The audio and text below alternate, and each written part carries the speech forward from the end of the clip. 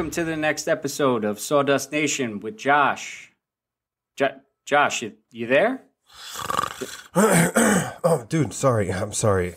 Um, wait. Gosh, are we, are, can't be are we, falling asleep. Are we recording right now? Yeah, we are. We're recording right now. Oh, where what, were what we? Are you, what are you doing? Falling asleep? Did you do the intro? I I don't know where we're where we are. Jo- Man, I, I just start. I just started. Well, I'll, I'll start again. Okay. Um, I'll pay attention this time. All right, don't fall asleep. So, everybody, welcome to the next episode of Sawdust Nation with Josh from North Country Woodworking and AJ from Crafton in New Jersey. Josh, Josh, Oh, Josh, man, you oh can't my be falling asleep. I am so sorry, everybody. You know when I said I'm gonna have a blackout there for a little while if I had a baby? Well, that occurred on the 16th of September, around nine o'clock. Our little jelly bean arrived in this world. She was seven pounds, 14 ounces, and she looks like me, poor soul. So, if I'm if I am a little bit tired this episode and he keeps having to wake me up, y'all know why. But let's kick this off of what's going on in our workshop. AJ, what do you have going on? Man, it's uh it's been a hectic time in this workshop lately, but I've been learning a lot and made some new, you know, um, new jigs to help me out with some projects. And actually, a couple of the jigs were built by built for necessity because I was building a uh, a ring box for my upcoming wedding, and I needed to do splines in it. I've never done splines before, and I looked online real quick, made a couple jigs, and it worked out really well. It was actually, uh, I made it and it worked. I didn't have to make it, then remake it and redo it again and again. Um, also, made a crosscut sled, my very first one. Um, it's as true as a good Harbor Freight square is, a straight. So and I used a little bit of unnecessary walnut as the runners. But when I put the runners down, I didn't realize I cut them just a hair too small. So when I placed them onto the, the sled itself, I get a little slop in them. So what I'm gonna have to do is redo them. But I like it because it's a walnut and it's nice touch, uh, you know, on the on the plywood sled. Um, other than you know the jigs, I did make that ring box. It came out amazing. And um, go ahead. It did. I know man. you It- got questions. It came out amazing. So I do have a question. I mean, I think Yeah. you hit on it on one of your stories, but it's quite large. Like it's very tall. Is there a reason why you made it so tall, or is it just like you're laughing? So You know- I'm curious. the the the reason is, uh, you know, I, we've talked about it many times before. I can't, or I not that I can't. I never could resaw, and I had a piece of walnut that was already S4S. It was a rustic piece of walnut from Boards and Beams, and the reason that it's rustic is it's got a lot of knots, you know, voids. But I found a nice clean piece, and I was like, I really want to make a box. I wanted to make a ring box for Kim, and so I found this piece of walnut and I didn't trim it down to a, a decent size. So all I did was I chopped it into like this six inch piece and it was already, I think, like five inches tall. And I resawed it, but I didn't resaw it on my Rikon. I resawed it on my old Wen bandsaw because my Rikon, I need a new blade. I really got to fine tune it. And um, I just left it as is, the same height. I didn't play around with it because I, think the other thing was I was a little too scared of having small pieces. So I didn't want to use the table saw with tiny little pieces because I did not have a crosscut sled at that moment in time. I mean, you want to keep all your fingers? I mean, what fun is that? Yeah, well, if I had a SawStop, it'd be a little bit different. But uh, unfortunately, I don't. SawStop. If you're listening, there's two. There's two people right here that would love to have your table saw. Hey, I don't need a I don't need a big three horse. I, I can live No. with a, a one point five. If I had the three horse, I couldn't power anything else in my shop at the same time. In fact, in the house, would shut off all the lights. Uh, the dryer couldn't be running. It would be. you would just like, okay, gonna start the table saw. I you know that you just hit on the the funniest thing that happens to me not so often in the shop but every once in a while. My garage when they wired it up when they built this house, they must have put 30 different outlets on this one circuit and of course my table saw is on that circuit and it's 115. I'm not running 220 yet. And um every once in a blue moon, if I catch it at the right time, I flick the on off switch on, and literally all the lights in the shop just go completely black. And I'm like, oh man. so now I walk in the back room and I got to turn the breaker back on, and everything's fine after that. But it's always just that one time when I catch it just right. So it, it's happened to me a couple times, and luckily I wasn't in the middle of a cut. That was really good. Um, and it just didn't. Good thing breakers don't automatically come back on because that would really, really suck. Oh yeah, man, that's very dangerous. And you know, we've Oh, talked yeah. about my shop too, and how mine's not really wired to be a shop, and I have two circuits in there, and the majority of the outlets are on one circuit. But uh, I don't know if I could maintain a three horsepower SawStop in there if I wanted to. No, definitely you got to go 220 and dedicate it on its own circuit. And that's eventually what I would like to do with the uh, table saw because I heard that, you know, the, the Ridgid one that I have, when you convert it over to 220, it just runs better. It runs smoother, has a little bit more power to it, and it uses less amps too, you know, since it you're running makes higher sense. voltage. I mean, Yeah. I would, yeah. I mean, eventually, you know, when we actually get a house and I get a, you know, shop that I kind of want, it, I'll, I'll definitely have the circuits in the setup that I want. I mean, this is a learning curve. This is allowing me to set up a shop when I go somewhere else and like know what I like. But uh, Oh, yeah. let's hear more about these jigs in your ring box.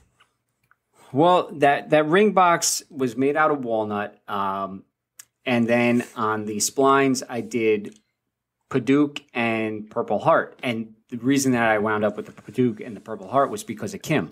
Kim was under the impression this whole time, and I made it because I didn't. I wanted to surprise her with it, and I kept on saying I wanted to learn. So I'm making a box because I want to learn, and what better project to learn on? And I kept doing new things, and you know, building the spline jig, doing the splines, uh, resawing. I learned three things right there, which was real valuable to me. Now I can use them for other projects.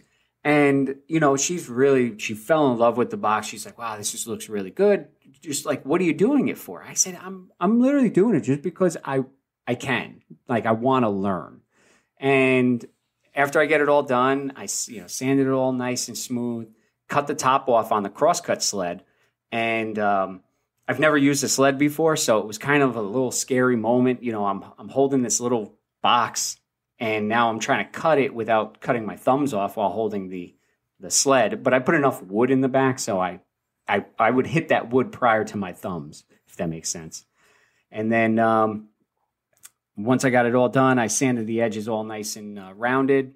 Did a little round over on the top and bottom, and um, finished it off with some uh, walrus oil furniture wax and let it sit for 10 15 minutes buffed buffed it out and then surprised her with it. I sneaked in and stole the rings and then um, put them in the box. So i surprised her with the rings in the box.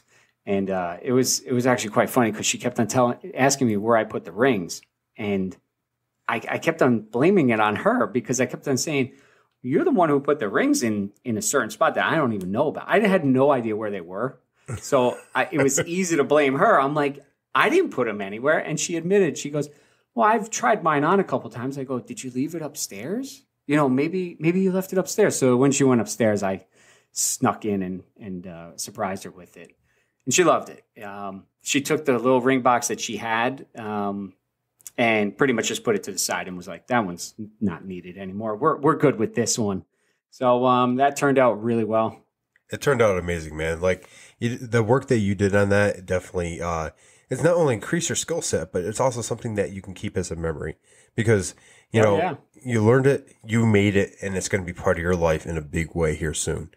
Um, Mm-hmm. you actually beat me to the spline jig. I've been wanting to make one for a while and I just, I just haven't, I haven't had a need for it.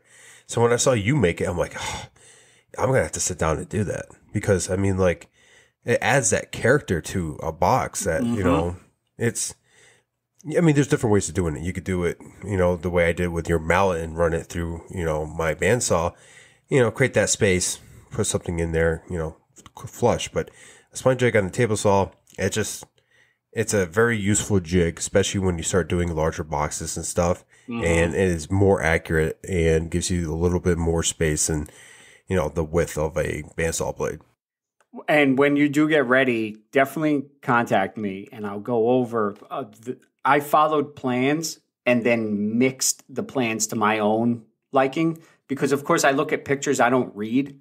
And um, I looked at the pictures, went, oh, okay, I could do that. Forgot how the picture was, put it together the way I thought it was, and looked at the picture and went, ah, man, one thing is backwards. But the, I, it's hard to explain on the podcast, so I'll have to show you in, in a picture what this gentleman did, which actually would make it work better because it would have a flat surface on the bottom to slide on the on the table saw. Mine sits, I mean, like a millimeter away, but it's locked onto the uh, table saw fence, so it can't it can't tilt you know over. So the splines are going to be straight no matter what, and with it sliding on the table saw fence, it was nice because I needed to make splines in multiple locations.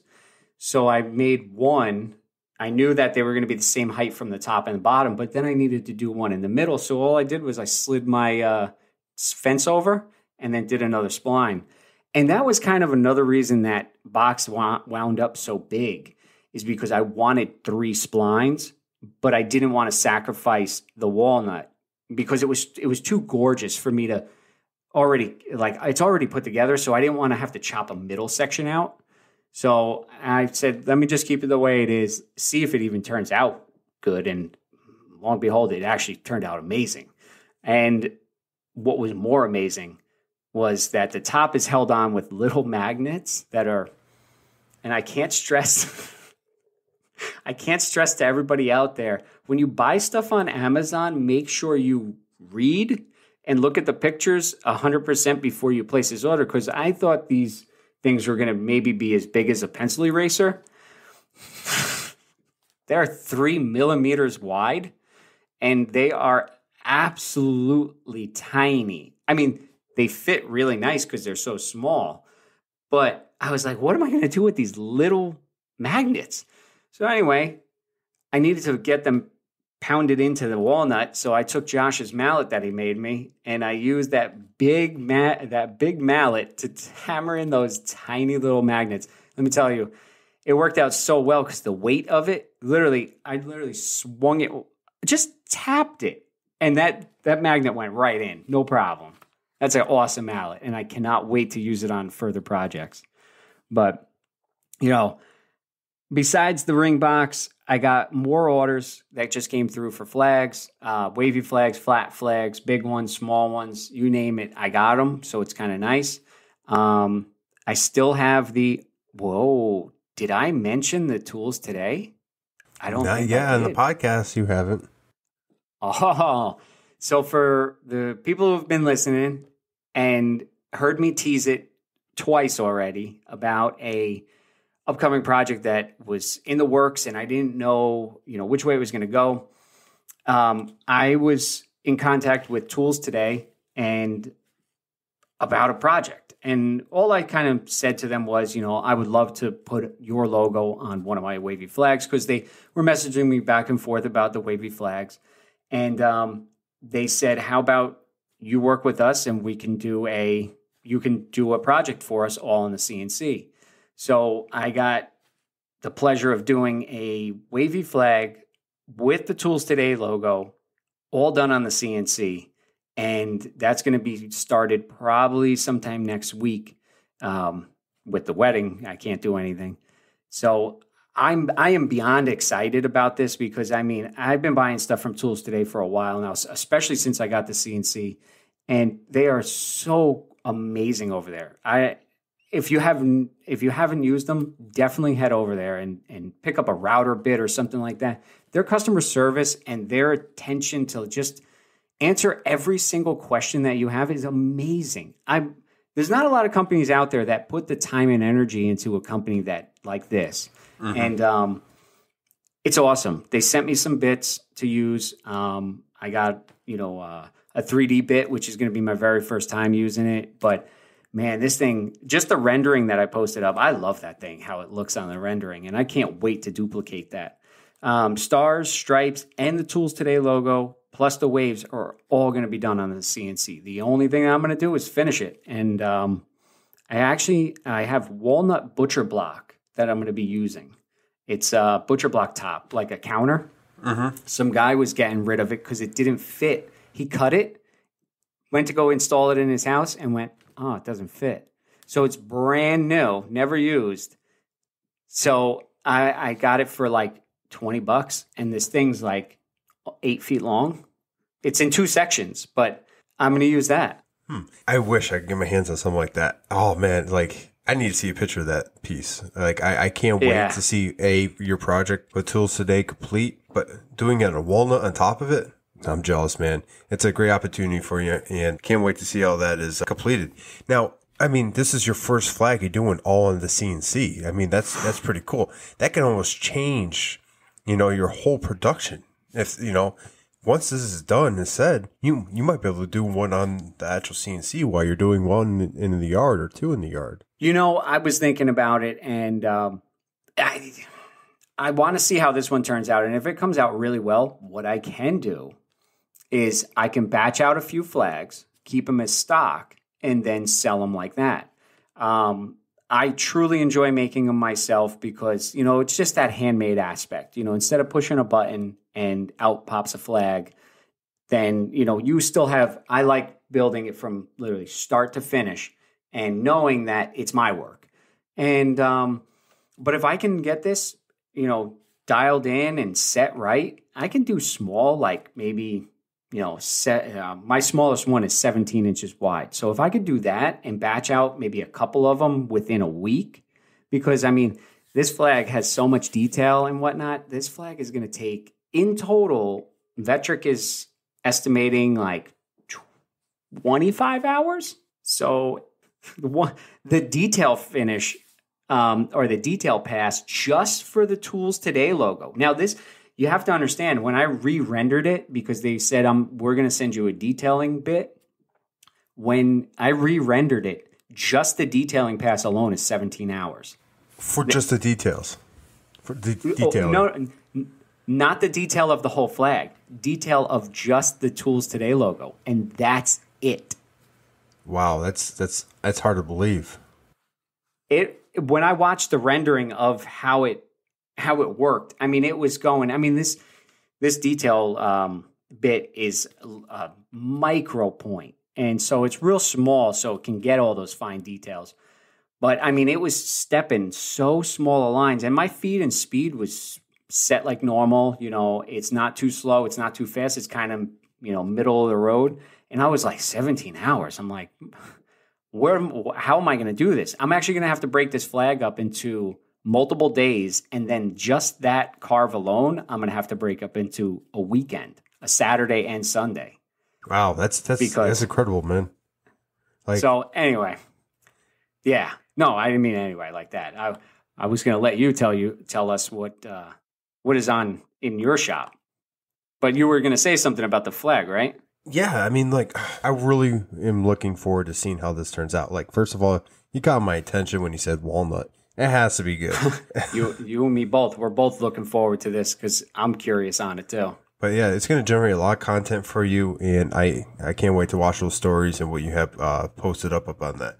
But talking about what's going on in my shop, not much. The shop has been closed. Um, you know, big big event just happened, and we're just kind of get the house and everyone in it ready and uh, operating on the same page.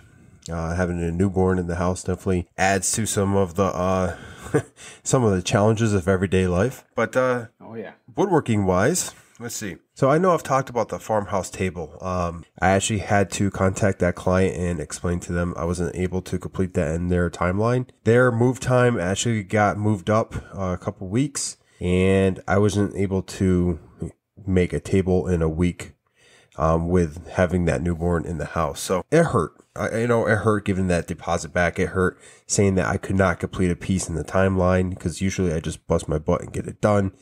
But it's a learning curve. It's something that I think, at least for me, I never thought I was going to have to do, but uh, I ended up having to do it. So hopefully never again. But uh, Mhm.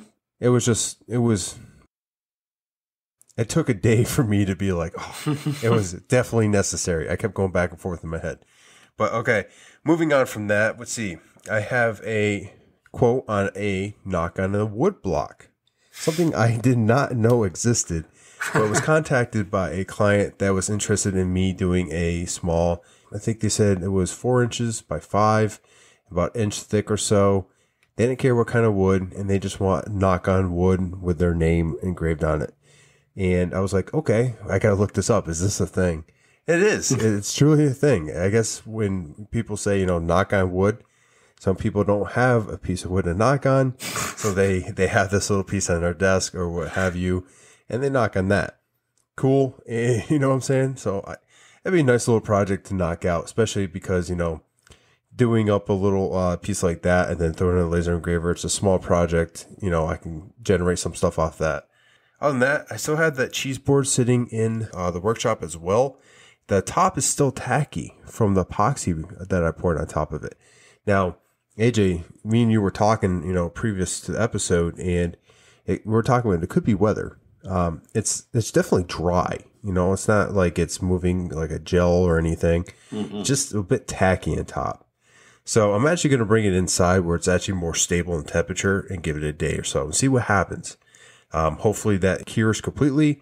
I can sand it down, get it to the customer because all these little projects I like to get knocked out and to the customer so I don't have to worry about them. Then I have um, the little serving board that I'm doing that's I think 32 inches uh, circular. That's going to be out of ash. I have to finish processing the slab and gluing that together and doing the laser engraving for that so they can give that gift as well.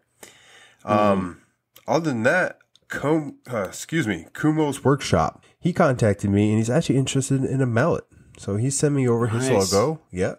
He sent me over his logo and I'm going to make a mallet for him as well. Um, I love making these mallets and if people want them, go ahead and contact me. I would love to, you know, sit down and talk details and what you'd like. Then the last one is a special mention for uh, this podcast, Woodworker Max. This guy has been listening to our Instagram lives. He's been interacting with us for, well, I don't know, for the majority of the time I've been on Instagram essentially. Mm-hmm. And he's been doing is marquee marquetry, marquetry, excuse me. I've heard of it, but I've never even attempted it. And this guy is taking, you know, um, a piece of wood, you know, chiseling out um, sections and then basically doing inlays with a chisel. I'm sure there's a, a, finer definition than what I just gave you guys, but uh, this is, you know, basics here. And his first one turned out great. And then he did a second one that turned out even better. I believe he has a very natural talent when it comes to doing marquetry. And I reached out to him. I'm like, hey man, I really want one for my shop. Recognizing raw talent right off the bat is not something, you know, I've done a lot of. But you could definitely tell that his passion for woodworking is there. And mm-hmm. he's been working on his second piece. And when he posted that, it, he he definitely has a talent there. And I really oh, want to yeah. showcase that in my shop because, you know, I think he deserves, you know, that's not that spotlight, but, you know, I, I want to be able to look at it and realize, like, you know, everyone out there has a talent and we're all just on Instagram and doing woodworking because we love doing what we do. Sometimes we just hit on something that we're just really good at. And Woodworker yeah. Max, man, you I think you hit your your thing. So that's what I got going on in my workshop not too much, not like I usually do, where it's like 10 things in the works and 10 things coming. but uh, yeah, it's going to be slow for a little while, then I'll get back into it. I got some inquiries, but uh, I haven't really answered them back quite yet, just due to how busy things have been. And, you know, I, I, I do have some things I need to complete before I start going down another rabbit hole. Uh, with your epoxy, when you say tacky, now I know not even just epoxy, but like I've felt things before, but it feels like it's tacky because like your skin's just how can I say this? Your skin's like sticking to it maybe a little bit, but it's not the product that's tacky. It's just like your hand is just like because of the type of finish it is. Are you sure that it's definitely tacky? Well, okay. So I haven't been in the shop that often, and when I say tacky, I went out and I it looked dry. I picked it up, and like you said, it, it felt like my skin was sticking to it a little bit. Now I haven't taken a sander to it or anything to see if I can mm-hmm. get that coat off and see if it's just that final coat. But it can't hurt anything for me to bring it inside to see if it changes oh, anything yeah. overnight. And if it don't, I'll bring it out. I'll sand it and see what happens. I mean, like I can laser engrave another piece of wood because out of the piece that you saw is actually from a 32 inch section that I have. It it bowed on me after I processed it and then resawed it. So what I did is I cut it down and ran it through my new um, Drum sander? my new drum sander, and you know it flattened out the pieces perfectly. Because before, you know, I would have to use a planer, and then it was just a process. Drum sander saves me so much time. As soon as I got it, this is one of the first things I did. So if it doesn't work out, I'll redo it, and I'll just make sure that when I mix it this next time, because I use a scale and I I do exact amounts each time. But I'm pretty sure maybe something got stuck on the side, or I didn't mix it that great. I used my drill with a spoon and I mixed it up that way, which usually I don't have any issues with. You know, it could be the weather. Um, epoxy is just, I am not a master when it comes to epoxy, and I've had my issues, and I'm just hoping that uh, you might be right. It might be just, you know, the feel, my feel, or it could be, you know, it just needs a night inside where it's a little bit warmer. Who knows? Maybe. Yeah, I'm I'm hoping that it's it's just like a, a feeling. I mean, you probably know what I'm talking about. Li- Like if you if you ran your hand over something, it might feel like it's tacky, but it's actually it's not. It's just the way the finish is versus how your uh, skin is. Maybe your hand's a little damp, and it feels like it's sticking almost. If that makes any sense. But I guess you got to see. Yeah, I mean, I'll try it tonight and uh, see how it goes. I mean, it's not going to Yeah. hurt anything. So, you know, I No, I did do some 3D printing too. Um, I guess uh, we came home and my my son was like, "Hey, you know, can we do something on the printer?" So I said, "Yeah," and we did a dinosaur puzzle thing where basically you print out all the uh, skeleton structure of a T Rex and then you put it together. And uh, it, it was pretty cool. The pieces were a little too thin, so next time I print that, I'm gonna you know beef them up a little bit because they were so flexible that some pieces were hard to put together. But uh, Nice. yeah, it's it's nice to have a 3D printer where you can come home and be like, you know, hey, let's let's do a project, and within an hour or two, have something you can put together. That's awesome, man. Speaking of 3D printers, mine was going over the the weekend like crazy. You know, just printing the same stuff. Um, but I wanted more because I, I my buddy doesn't live too far away from me. He just moved in, he's trying to build his garage, and he's got Milwaukee tools as well. So you know, I'm printing him up say, the tool holders, the battery holders. I'm just giving them to him. You know, I'm not trying to make anything off of it. So um, so I'm going to give those to him. Um, some of the M12 holders for the Milwaukee system, and just a couple other odds and ends. But man, that thing's been going nonstop. And uh, it, my my father actually just received his new one, and I can't wait until he. I keep bugging him. I'm like, "Did you open the box yet? Did you put it together yet? Did you did you open it yet?" I'm I'm tomorrow. If he hasn't opened it, I'm gonna say, "Just give it to me. I'll put it together." and I want to use it first because I want to build some bigger things and I can't on the one that I have right now. You know, they hang over just the the area that I can print in. They hang over just so much, just so little that the printer says no, I can't print because it's outside the zone. And um, so I got to go over there and steal his so I can print. What did he get? I mean, what model? He got a it was on Kickstarter. He my father loves to go on Kickstarter and and you know find new upcoming things. But I believe I'm gonna actually look it up while I'm telling you. I think it's a snap maker. Oh, I Um, really. Oh, I've been eyeing that Kickstarter for a while. So if it's the same thing I'm thinking of, you can do 3D printing, you could do laser, and you could do uh, like a small CNC. Yep, you got it. Um, he you know he got the whole kit and caboodle. He got laser 3D and CNC. Um, I mean, I'm looking at a picture right now. It looks pretty cool, and I think, if I'm not mistaken, because it has a CNC function. Wait, you were saying your laser didn't have a Z-axis, right? Not okay. Yeah, this has to since it's a CNC. It's got everything. Some lasers do have a Z axis that is uh, Mhm. basically by a stepper motor, and that's how they focus the actual laser. For mine being a diode, Oh. there's a knob on the bottom near where the laser comes out the lens, and I actually turn that clockwise or counterclockwise to dial in the actual laser versus raising it on the Z axis. I did not know that, and that makes a lot of sense. Wow, that's really cool.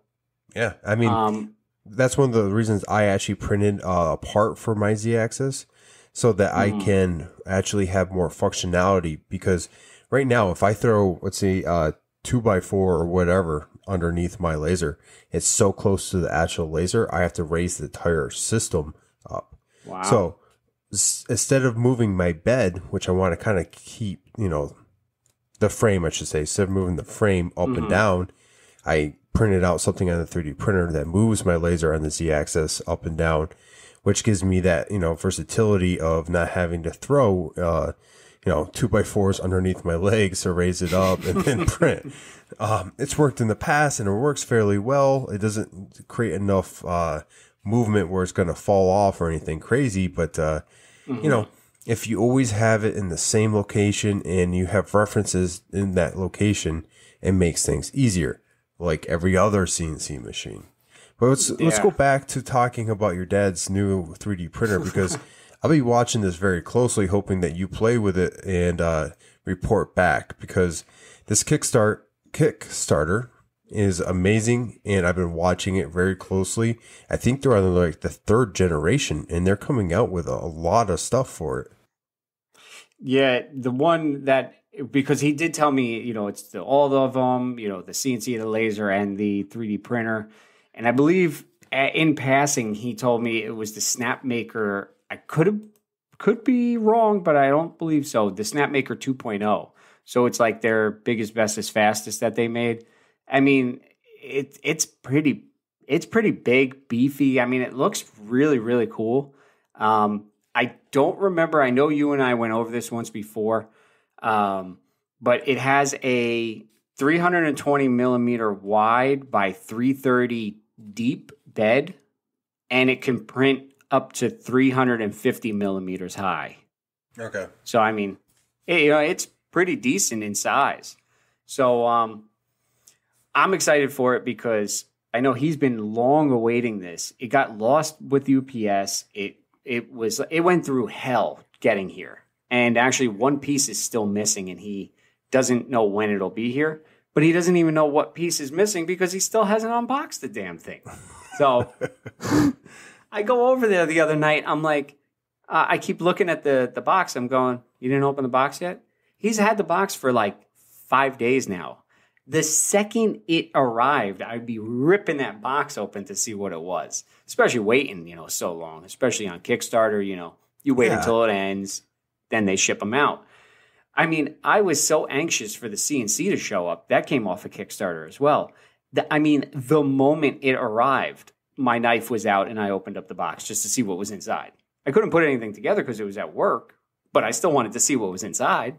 Yeah, because you're excited. You've been waiting for this for a long time. You want to open it, put it together, put it to work. That's awesome, man. Like I'm gonna follow that very closely. You know, make sure uh, you let me know how that you know is operating. I definitely will. I'm I'm hoping that he's just going to say, "Look, I, just come over and just put it together." Like I don't have enough time for this because it comes in pieces. So he said you have to build it. Uh, I'll probably be there helping him out build it. Once I do that, I definitely will be taking pictures, videos, um, maybe do some stories on it, and hopefully get it running. And then maybe I'll be able to print, you know, a nice test piece or something like that and see how this thing goes. It looks robust.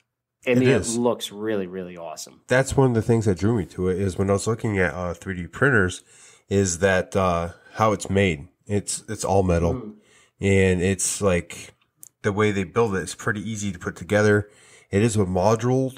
That way you can make a bigger bed later on. You can change it up, put two together, what have you. And they're continuing to put stuff out. It's not something that like, you know, was on Kickstarter. This is it. It's on 2.0. Yep. I mean, like they're constantly making stuff for this because it's doing so well. Oh yeah, a lot of these companies are going over to Kickstarter, even though the uh, the company is already established and they already have a big following. I've been looking at Kickstarter myself, and even with the CNC, that the company who built that is Millright. Millright has been making CNCs for a while now. They only threw it up on uh, Kickstarter to get a different audience, you know, Yeah. um, because they already had their target audience, but they wanted more people to to follow along, and that's exactly what happened. A lot of people who did not know who they were found out who they were. So, um, I mean, Kickstarter is awesome for this kind of stuff, and I'm really excited for them. I'm really excited for myself as well because then I get to build nice big 3D prints, and um, I'll definitely let everybody follow along, and I'll definitely keep you in the loop on it as well. Um, it's it's it looks pretty awesome. But anyway, enough about 3D printing. So we got a question that got sent in this week, and it's uh, from Trails Custom Woodworks. Hi guys, it's Isaiah from Trails Custom Woodworks from the Big IG. This week I have a few tips for you and one question that is one huge question. So first, my t- my first tip is mostly for Josh to solve his tape measure losing issue. I have this really slick belt slash pocket clip from Magneto. You can find them on Amazon. They it saves so much time because it's just a magnet that cl- clips to this belt clip, and it's a huge time saver. I definitely recommend you add this to your collection. For, second, my tip is for all of you. I lose pencils all the time, and I always make sure I have at least two on me either in my hat or in my pocket, so I'm never losing one. Okay, enough is enough. My question for both of you today is, if you were to be given plans to build a cutting board 15 inches long by 12 inches wide, 1 inch thick, how would you do it with the cheapest materials in hardwood? What wood species would you use? And second part of this question is, how is the quickest way to do this? Think that you're do, doing high production on multiple cutting boards. This also means you're using more than one piece of wood. You're gluing up a panel, so multiple pieces. How much would you sell this product for? Thanks, guys. Can't wait to hear your responses to to these questions. Keep up the great work. Well, um, I do want to hit on one thing. Man, that would work great, but I would have to put pants on in the workshop, and I don't know if I'm ready for that yet. Sorry, it's a family show. I had to. Oh my lord! And then the second is from uh, for the pencil. Alex Snodgrass actually had a great idea during this expo that uh, you put a magnet on your pencils and you put them on your hmm. machinery mm. throughout the um, throughout your shop. And actually, I picked that up, and I actually have multiple pencils on my bandsaw, my drill press, and stuff like that. So even if I misplaced the one I had in my hand 10 seconds ago, I know right away where I can go to get some more until I use them up. so, you know, pencils are yellow and I lose them all the time. I they could be fluorescent and I, I, I still would lose them. Ah. Speaking of fluorescent, real, real quick, my tape measure is fluorescent green. I've lost, I have three of them. I lose them I put it down on the bench, it's gone. I don't know yeah. where it goes. It goes to like tape measure heaven or something. Well, it could definitely go somewhere because like I literally I I, I I'm very particular in how I like my shop. Everything goes in a certain place. When I'm doing mm-hmm. a job, I don't know what happens. It's like I go in the ultimate dimension where I just decide to put things in the most random places. It's almost like I'm yeah. so caught up building things in my head or building that's like I forget where I am. But okay, so his 15 inch by 12 by 1 and multiple hardwoods production style. That that um, man. And how would you do it with the the cheapest the cheapest material? I would start off ash. Uh, ash is fairly cheap. It's a hardwood. Is it, it? Yeah, it's a hardwood, but is ash good for cutting boards? Because I don't know. I mean, its density is pretty hard. Um, I would have to hmm. look at the exact density of it. We're gonna go on the line. Yeah, you you can uh, go ahead and do the the interweb search. What is that scale called for the hardness? Hmm, the Jen- Jenkins scale. Yes. Yes. I'm, i think I'm right. I think you are too. Um, I'm just agreeing with you because I can't remember. Is ash good for Butcher block. Ah, there we go. Google to the rescue, everybody, and I hope this stays in. Um, ash is known as the wood choice for baseball bats. It has a good overall strength, provides yeah. Yep. So yeah, it says bar tops, butcher block, countertops. See, I haven't worked with ash, and I haven't really dealt with much of it. I am doing it now because of the uh, serving uh, trade that I'm doing. But uh, it's hmm. a cheap, a cheaper hardwood, at least in our area. Um, yep. I'd use walnut because walnut's really not that expensive. One thing I would the the more I'm digging in while you're talking about this, it looks like it's used for countertops and not direct food contact. So I'm wondering if they're saying it's good for a kitchen, but I don't know if it would be good for a, an actual actual cutting board. Well, if you did end grain, it's going to hold up better than if you did face grain anyway. Hmm. Yeah, yeah.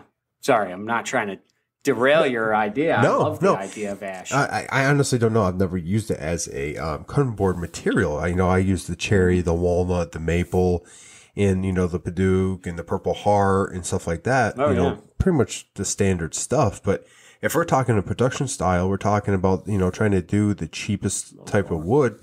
You know that's going to give you the same great results. Ash I see is a beautiful piece of wood, uh, and I think it would hold up, you know, fairly well to what you're trying to complete there.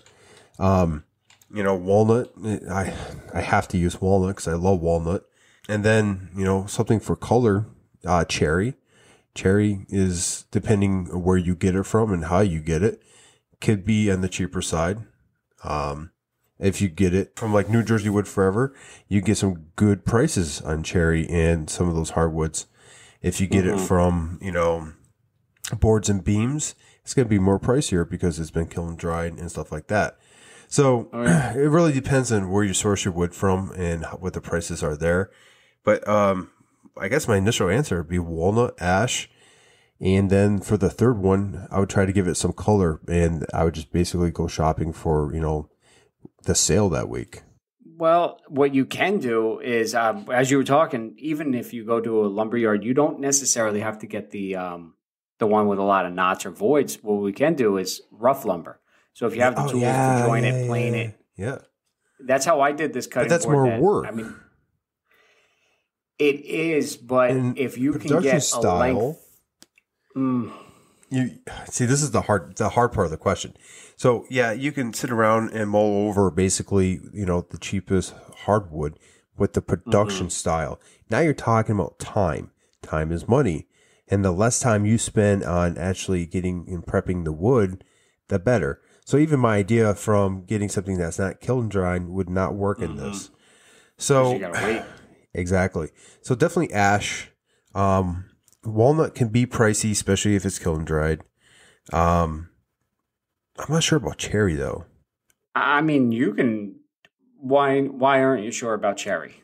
The price of cherry, I've actually never bought Mm. it from uh, lumberyard, so I'm not quite sure what the prices are going.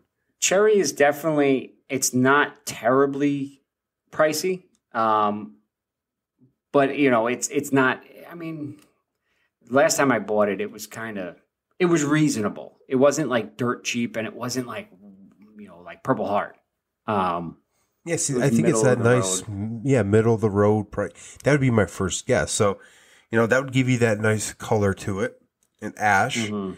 And then I'm almost thinking about some of the more, some of the different woods we haven't really worked with, like um, not huckleberry, but um, trying to think what I have. but also if you're doing production and you haven't worked with it yet then i mean this this question's you know you can have a million different answers for it but um what about doing the standards even though even though you might spend a little bit more money you could stick with woods that you know so let's just go with the three basics if you did the the cherry maybe walnut and then um, I don't remember. Oh, ash. You know how they tool. You know like what you should look for, how they're going to work, um, and then you don't have to learn it at that point. If that makes any sense. yeah, that makes it definitely makes sense. Um, and I think with those, you would stay within a reasonable cost Mm-hmm. for the production itself. You can get those pretty much at any you know lumber yard, um, and you know you can knock those out pretty good. I mean, for the size he's mentioning, it wouldn't be that hard to actually you know put that together, and you could do stripes and different you know designs and pretty much end grain, uh, well face grain. I wouldn't if you're doing production. No end grain. Definitely not. You're doing face But grain end- all day long. End grain, I, I end grain does take longer, but it is a it's a selling point, and it does usually you can sell it for more. You can, but let's just do the three woods plus the time um, that it's going to take you're Well, you're going not to just break time, so but close to material, materials too. Yeah. Think of all that waste on a end grain.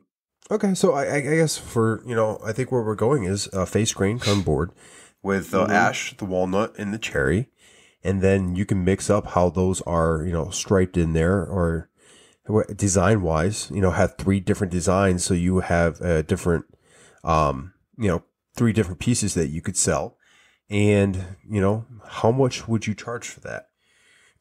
well, it would depend on the price of the wood and exactly how much time I did it for. But for a face grain with three different wood species, and we're saying different uh, patterns, yeah, I, I would probably go for like a 60 70 dollar range.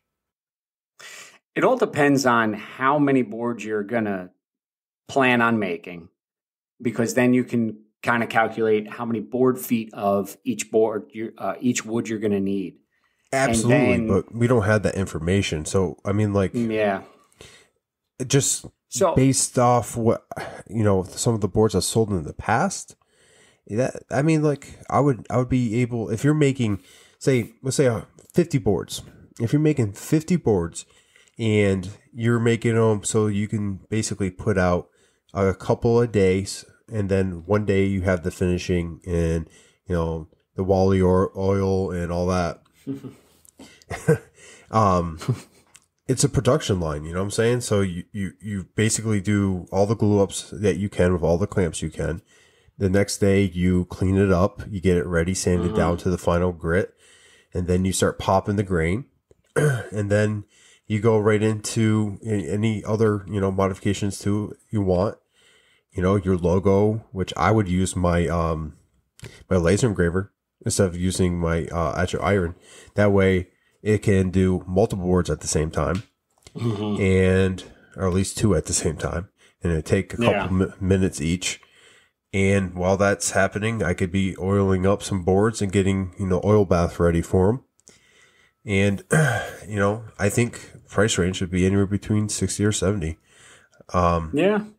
I think I can make enough of a profit to justify it. And with a 50 boards like that, make a, enough to, because production style, you don't want to charge a higher amount. You want Mm. to charge a amount that they're going to sell like hotcakes because you're making qual, you know, a lot of them and you want them to sell. You don't want them to sit there. So I think that that would be at a crafts fair or at, uh, Etsy page would be a reasonable price that people would grab. 3 wood mm-hmm. species, different coloration, and you know, especially with the walnut and just the cherry alone look good together. The ash, would give it that bright stripe or that bright aspect. when when you were talking about it, I was looking at the question again, and it. What's the quickest way that you could do this? I was thinking if you got the the three woods, you can set your table saw, rip down strips. Let's say you had an a six foot board, you can either cut it all in one length or cut it into individual. Cut all your strips into different into different widths. So not just for you know the ash one width, the walnut one width, and then the um, cherry one width. You do, you could vary it. So Yeah. the ash could be like three different widths. Same thing with the walnut, and then you can mi- um, mix them up so your boards don't look all the same, and you could have variation.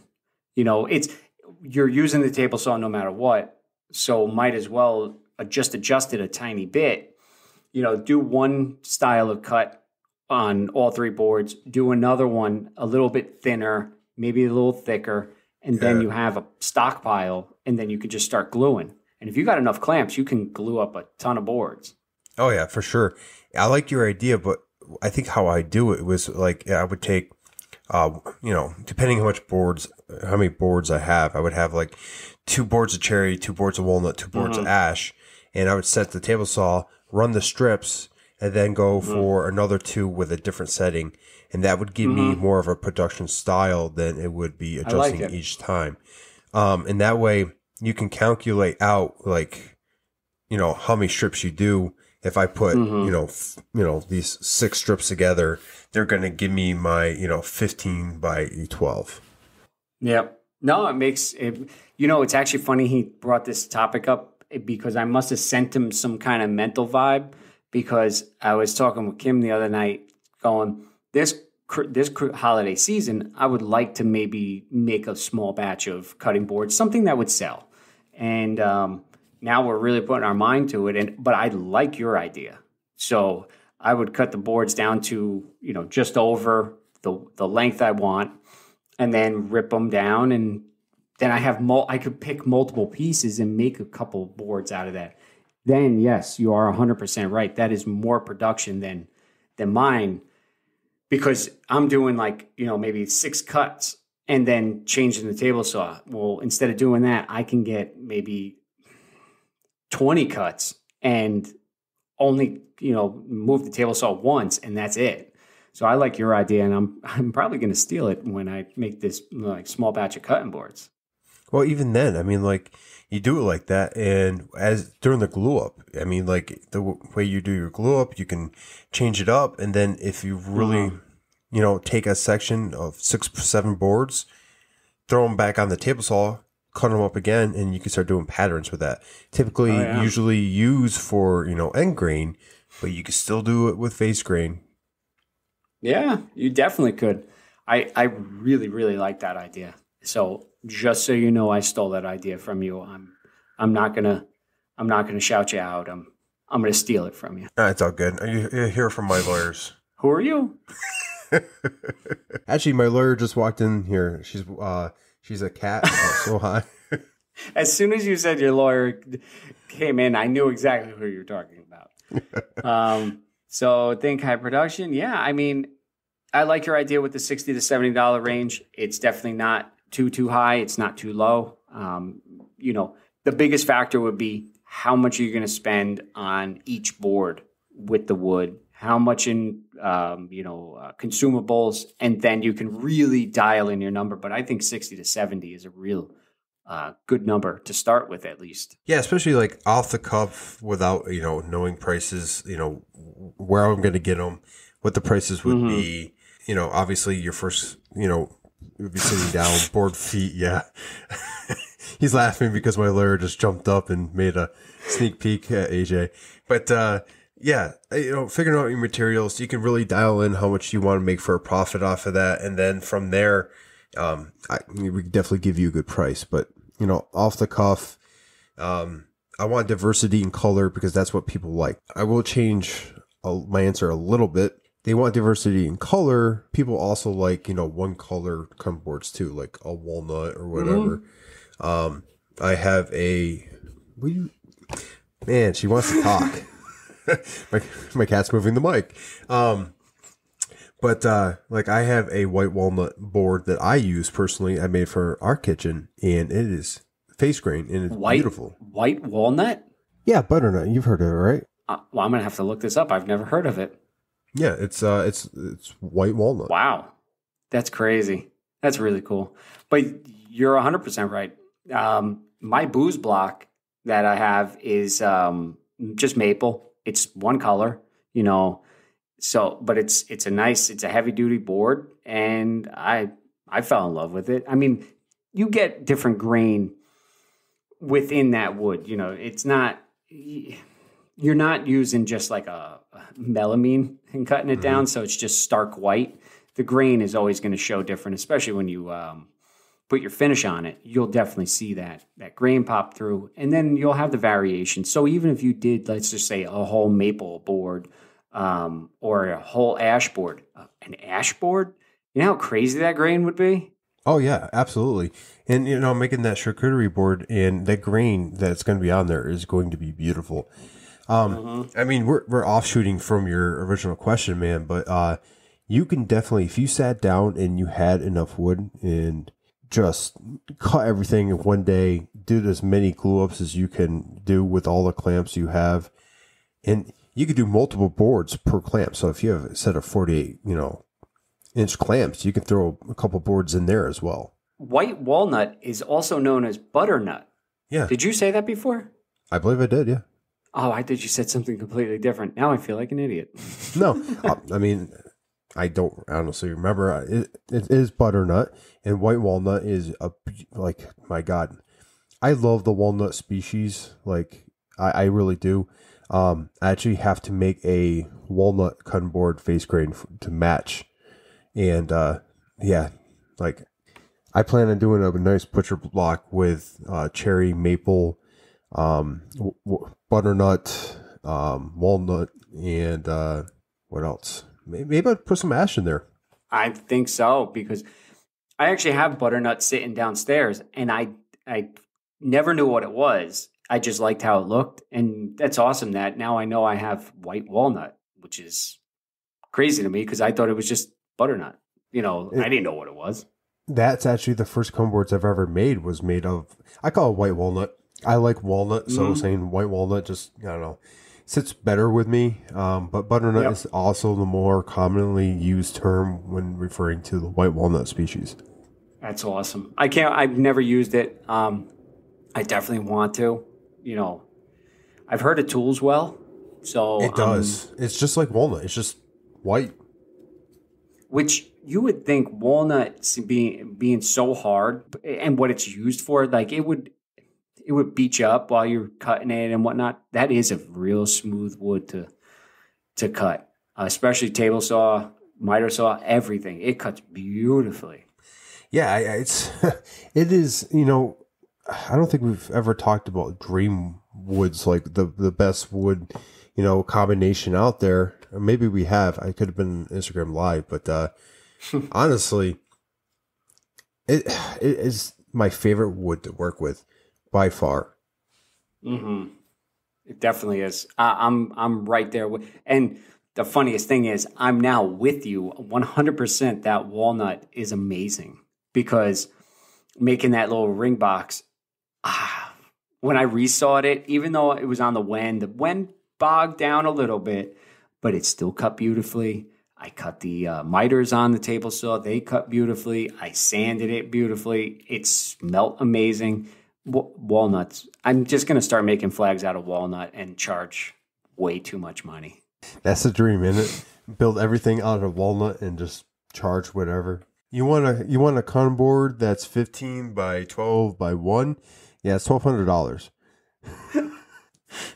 Guess who's buying this all stuff? yeah. Yeah, eh, this cost one SawStop. Well, that's it's to the cent.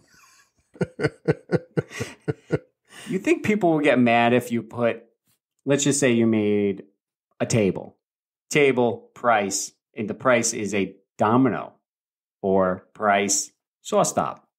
You don't have money as the the number. You just have what tool you want. Actually, that'd be pretty cool. Be like, okay, you want me to build this table? Buy this tool for me. There you go. Cut out the middleman, man. Man, that'd be awesome. Click on that SawStop. But anyway, yeah, we definitely dove into that. That was a that was a fun one because I learned a lot on that one. You gave me great ideas. I now learned what butternut really is. It's white walnut, and I cannot wait to work out with it. I got it. I got a eight foot section sitting downstairs. I think it's like 10, 10 inch wide. It's S4S, Nice. and I'm getting too excited. Yeah, I picked it up from Boards and Beams. I'll, I'll definitely send you a picture of uh, the one I have in the kitchen. And face grain holds up well. Um, I believe the Wood Whisperer did uh, a post a while back or a YouTube video, and he was redoing one of his first face grain cutting boards. And I think it was to his brother in law or family member. And he just basically said it's been three, four years, maybe longer. And he showed, you know, how much wear and tear it's taken. It looked good. He did a little bit of uh, sanding and brought it back to life, and it was ready to go. So that's one nice thing about a real cutting board, a, a, a hardwood cutting board, because you can resurface it, you know, just by sanding it down and then oiling it back up, and it's like brand new.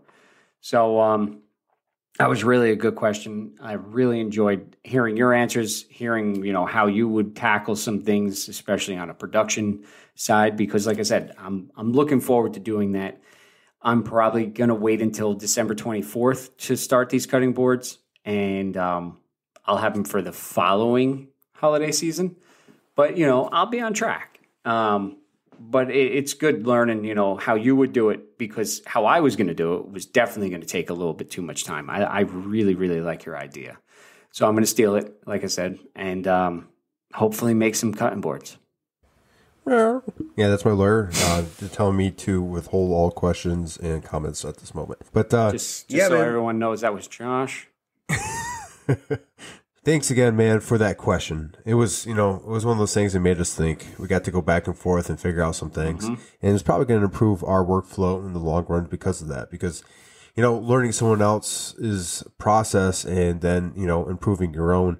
That's what this community is all about, the Sawdust Nation. So Definitely. with that, we're going to wrap this up. And like always, you guys can contact us at our Instagram pages at Crafted in NJ for AJ or North Country Woodworking for myself, Josh. We also have a podcast page on Instagram at Sawdust Nation Podcast. In addition, we have an email account that you can reach us at and send voice clips. Sawdust Nation Podcast at gmail.com. And if you're just not an Instagram goer and you have a Facebook, because like MySpace, everyone had one of those at one time, you can always look us up on Facebook and it's the Sawdust Nation podcast as well. And whatever we post up on Instagram goes right there, so you won't be missing any content. Thank you for joining us on another episode of Sawdust Nation. We are we love to I he's he's calling me a square for some reason and I'm not sure why. Oh, okay. With that, everyone, please go ahead and. Oh, that's a share? Uh, no, it was Apple. Apple review. This needs to stay in because that was great. Anyway, They're not going to have the No, I- visual, he- though. he Me trying to make it tripped me A. up. He tried making an A. It was like a slanted down square that was like on a hill. I didn't even. It looked like a P. Look, look at the That, It's that actually P. looks that looks like a D. that that. Okay. anyway, I- we're trying to tell we're trying to tell each other to mention that if you listen to us on Apple Podcasts, leave us a review. Um, you know, you can write one in. You could just click the stars. Let us know. Let us know what you think of it, and we would really like a comment. You know, just put out there. You don't have to use your real name. You can just uh, write number one fan. You know, comment what you like about the podcast. Definitely me and Josh's cat. And hey, hey. hey, you were falling asleep today. I don't want to hear it. Well, you ever listen to you? This is the number one sleep podcast out there. the number one sleep podcast. What? What? Put you to This sleep. is Sleepy. Well, thank you for uh, listening to another episode of Sleepy Time Podcast. So, anyway, thank you for listening to another episode of Sawdust Nation. I'm crafted in New Jersey. Josh North Country Working. is not falling asleep this Yeah, time I'm wide awake. for now. Oh, Anyway, Josh is going to go cuddle with his kitty cat, and I am too. So, We'll catch you back here on the next episode of Sawdust Nation. Sure. See ya.